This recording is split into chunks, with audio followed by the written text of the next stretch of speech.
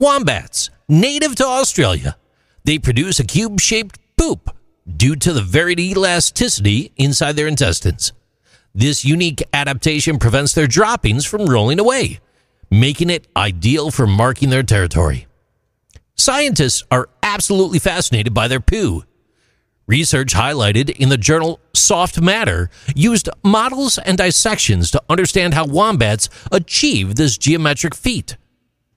These insights into wombat poopies have potential applications in biomimicry, which is an approach that imitates nature's designs to solve human problems. One potential application is in the field of material science and manufacturing. By studying the wombat's intestines, scientists can learn how to create uniform shapes without traditional molds. For example, manufacturing processes could be developed to use varying pressures and elasticity to shape materials. This could then lead to new ways of producing objects with precise shapes, reducing the need for extensive machining or waste.